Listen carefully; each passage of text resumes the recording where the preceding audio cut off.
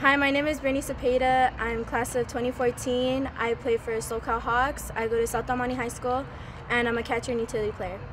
Thank you for watching my video.